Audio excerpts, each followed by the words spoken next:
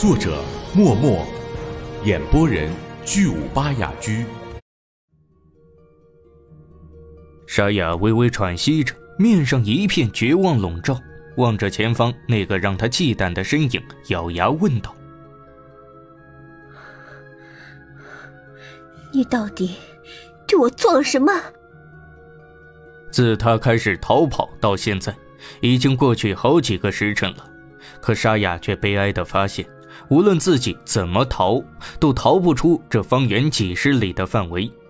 好似他在围绕着一个位置不停地转圈总是莫名其妙地跑到这个乌牛面前自投罗网。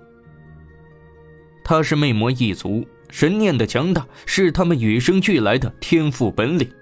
他初始以为自己中了什么巫术，出现了什么幻觉，可几次三番检查下来，却没有发现任何痕迹。不是幻觉，自己也没有任何异样的感觉。可是跑着跑着就回到原点了。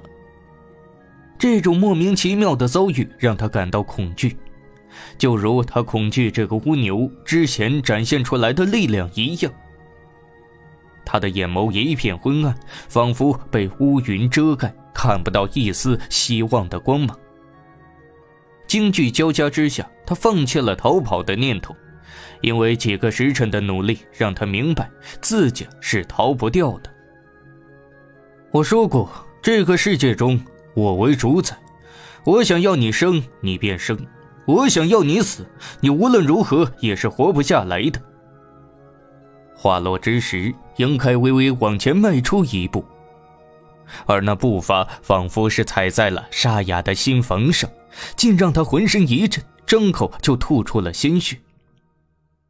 杨开从空中一步步朝他走去，神色寡淡，不带丝毫感情色彩，而每一步落下的时候，沙哑身上的气息就要虚弱一分，口中更是鲜血狂喷。似乎整个世界都要开始与沙哑为难，无法接纳他的存在，不将他碾为齑粉，誓不罢休。生死存亡关头，沙哑做出了一个最明智的选择。只见他忽然单膝跪在地上，神态虔诚，开口道：“大人饶命，沙哑愿意向您效忠。”他是聪明人。所以不难猜出乌牛留他性命的意图。这个乌牛既然不贪图他的美色身躯，也不急着杀他，那么就只有一个目的了：收服他。所以沙哑在明知无法逃跑、无法抵抗之时，立刻低下了自己的头颅。他没有什么誓死不屈的高风亮节，为了活命，他什么都干得出来。这也是天地万物的本能。杨开的步伐顿住了，微微一笑。是。沙哑这才感觉四周那无所不在的压力陡然减缓，忍不住吁了一口气，微微抬头，用那张足以颠倒众生的美丽脸庞望着杨开，楚楚可怜道：“不知大人需要我如何证明？”就如之前杨开向他投诚。他需要杨开展现诚意一样，此刻他既然选择抛弃自尊和立场归顺，那么自然也该证明一下。空口白话，没人会傻到相信的。敞开你的识海。杨开吩咐道。沙哑犹豫了一下，最终还是放弃了神识的防御。识海之中的诸多秘密，顷刻间成为不设防的状态。只要杨开愿意，便可任意索取。当然，真要这样做的话，可能会对沙哑造成不可挽回的创伤，一不小心就足以让他变成白痴。杨开并没有去窥探那些秘密，只是神念涌动，冲进沙哑的识海中，在其中烙下了自己的神魂烙印。沙哑娇躯一颤。冥冥之中感觉到自己与这个乌牛之间有了一层无影无形的联系，好像有一根绳索拴住了自己，而绳索的那一头便掌握在乌牛手上。莫名其妙的感觉，这个乌牛有些亲切，不再如刚才那般面目可憎。沙哑知道那是神魂秘术的缘故，同时悄悄地感应一下这个神魂秘术的强度。下一刻，沙哑便心头一沉。他本以为凭借自己的神识力量，就算对方在自己的识海中落下痕迹，自己也能找到机会将之抹除。毕竟他才只是一个相当于魔帅的存在而已。可事实上，沙哑却发现那烙印的坚固程度根本不是他所能够撼动的，这让他抱有的一丝期意瞬间化为了乌有。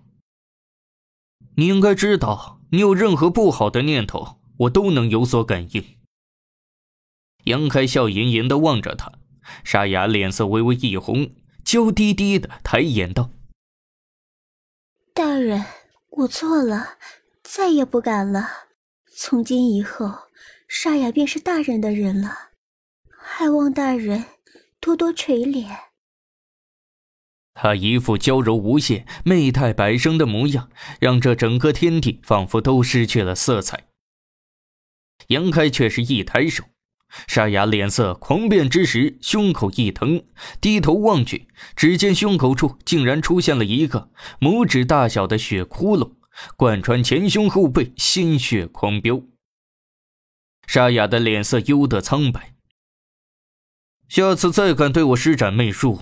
这个洞会开在你的脑袋上。杨开一脸的冷酷无情。是。沙哑神色一肃。虽然对他来说，脑袋上开个窟窿也不会致命，但那总不是什么美好的体验。当下变得老老实实。杨开歪头瞧了瞧他，皱眉道：“你之前说的魔心不灭。”魔族不死，魔心既然是你的根基所在，为何我两次破坏都没要你的性命？之前在战场上，杨开从背后偷袭，百外剑明显将沙哑的魔心戳穿，而刚才同样一指洞穿了魔心，可沙哑除了看起来有些虚弱之外，哪有什么性命之忧啊？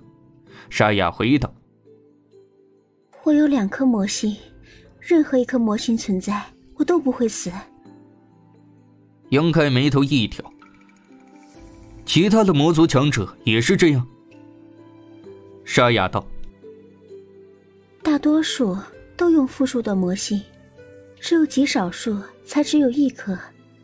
大人日后若是想要杀死魔王以上的存在，必须得确保他们的魔心全部摧毁才行。”他刚刚投诚，急着表现下自己，所以对这个情报倒是没有什么隐瞒。我知道了。杨开点点头，伸手一抬，沙哑条件反射般的变了下脸色，还以为自己又不小心触怒了对方，可很快他就知道自己多虑了。一个精致的玉瓶朝自己飞来，轻飘飘的落在地上。沙哑抬头。狐疑的看着杨开，服下里面的丹药，等会儿我还有话要问你。沙哑这才将玉瓶拿起，打开瓶盖，从里面倒出了一粒圆滚滚、饱满晶莹的灵丹，一股丹香味扑面而来，竟让沙哑生出了一种恨不得将它立刻吞下去的感觉。他也没有迟疑，确实将灵丹吞了下去。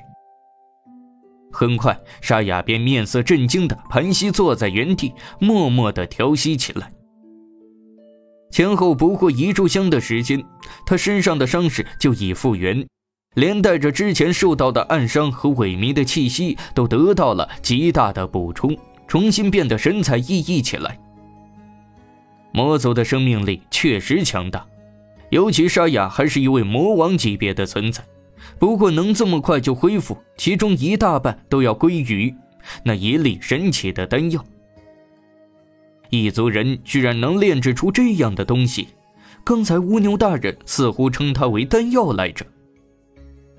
沙哑眉头紧皱，他对蛮族这边的药理的理解还停留在一些看起来像是浆糊的草药混合物上。这样一粒散发着香气的灵丹，别说见了。连听都没有听说过。不可否认，这丹药的功效强大无比。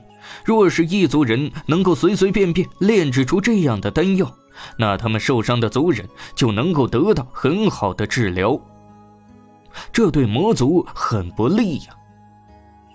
想着想着，沙哑又是一笑，自己考虑这些干什么呀？如今自己已是天下之囚，想要活命，只有摇头摆尾，祈求乌牛大人大发慈悲。想这些东西完全没有意义。忽然就成了别人的奴隶了呀！沙哑轻叹了一口气，收敛心思，站了起来，乖乖的朝杨开那边走去。待到他面前站定，道：“大人，我好了。”杨开转过身，望着他，问出了自己的第一个问题：“你们从哪里来？”魔域。魔域。杨开眉头一皱，沙哑微微一笑：“大千世界林立，大人所在的这片天地，并不是唯一的天地。魔域是与大人所在的这片天地同等的存在。”杨开微微吸气。你是说还有更多这样的世界？沙哑点头道：“当然，虽然我没去过太多的地方，但据祖辈们留下来的信息记载，在这无尽时空之中，确实有不少大千世界。只是世界与世界之间有壁垒的存在，轻易察觉不到彼此而已。”只有那些力量登峰造极者，才能感应一二。那你们魔族又是如何发现这些大世界，又如何进去的？世界壁垒有强有弱呀，有的大世界的壁垒形同虚设，只要找到入口所在，随意便可进出。不过有的大世界的壁垒坚固的很，并非人人都可出入的，想要进出的话。必须得付出点代价才行。嗯，大人，你所在的这个世界与魔界之间的壁垒就有些牢固，之前还是魔神大人亲自出手将界壁打通的。魔神？杨开眼帘一缩，之前他听沙哑提到过这两个字，只是杨开一直以为这所谓的魔神啊，就如同巫神对蛮族的存在一样。是一种象征和精神的支柱。可现在听沙哑话中的意思，这个所谓的魔神居然是真实存在的，而且还出手将两个大世界之间的界壁打穿了。这个消息让他有些毛骨悚然。这得需要何等强大的力量才能做到？星界之中盛名在外的十大帝尊，不知道有没有这个能力？沙哑肃然道。在魔域之中，只有最强的存在，才有资格成为魔神。不止一个。杨开眉头跳得厉害。当然不止一个。沙哑奇怪的望着他，似乎不明白他怎么会问出这样的问题。从小玄界返回之时，杨开脸色凝重。与沙哑一番畅聊，让他得知了不少关于魔族的信息。这让他知道，魔族并不是一个容易对付的种族。魔族百族，种类繁多，每个种族都有着自己的天赋神通。就如沙哑是魅魔，他的天赋神通便是魅惑之光，是生来就有的一种能力。一旦施展开来，很容易将那些实力低于自己的存在魅惑。轻者受他驱使，为他所奴役；重者神智丧失，沦为行尸走肉。此前在战争之中碰到的那一个个身材矮小的黑影，便是百族中的影魔。他们最擅长隐匿刺杀，游走在黑暗与阴影之中。还有那些沙魔、红魔、绿魔，人数最庞大的一个种族叫做厉魔。他们是天生的魔族战士，之前在战场上碰到的魔族有八成都属于这个种族，不过现在都死光了。杨开领着沙哑从自己的石窟中走出来，引起一片鸡飞狗跳。十几个巫和其他蛮族们纷纷震惊地望着魔王沙哑，雨露双胞胎更是一手巫术凝聚，随时准备开战的架势。这可是魔王，是之前那一支魔族大军的统帅，众人自然警惕。魏有蝶一脸淡然的神色，好似早有所料一样，不见丝毫意外的表情。大家不用紧张，我如今是蜗牛大人的奴隶，对你们不会有什么恶意的。面对众人的敌意，沙哑微微一笑。奴隶！众人惊叫，没有人不知道“奴隶”二字代表的什么含义。雨露朝杨开头以询问的眼神，见他点头承认，还是生出了一种不真实的感觉。杨开之前虽然表现的极为强大，但将一个魔王视为奴隶，这种事还是太过匪夷所思了一些。所有蛮族都没有彻底信任沙哑，尽管有了杨开的肯定，他们还是对这位魔王保持相应的警惕。雨露上前汇报工作。那些被俘虏的魔人们，在经过众巫的几日救治之后，倒是有不少人摆脱了魔气的缠绕，恢复了神智。不过，或许是因为他们被魔化的时间太久了，所以有一大半都在救治的过程中暴炉而亡，令人扼腕叹息。这也是没有办法的事情。被魔化之后，往昔的同胞们就成了魔人，六亲不认，毫无理智可言。想要救回他们，必须得付出一些代价。将其中一小部分人救回来，总好过所有人都保持着魔人的状态。前几日的战争中，乌牛部折损了两百多人手，一下子又补充了回来。不过那些被救回的族人们，此刻还显得有些虚弱。需要一些日子静养休息才能恢复。雨露也正在研究更好的救治办法，用嗜血术激发族人的体内的气血之力，辅以清心静神两术，是杨开之前随意琢磨出来的办法。虽然起到一些奇效，但应该还有更完美的办法。雨露出身巫神殿，见多识广，最适合干这种研究工作。若是真能成功的话，那以后再救治族人的话，伤亡率恐怕要大大降低。除此之外，这些被俘虏的魔兽大多也都被众巫们施展奴兽术驯化。双胞胎想从乌牛部中选出一些最强大的战士，编排成一支骑兵，可这件事情没杨开的首肯，他们也不敢擅自决定，所以此刻来问问意见。杨开自然没意见。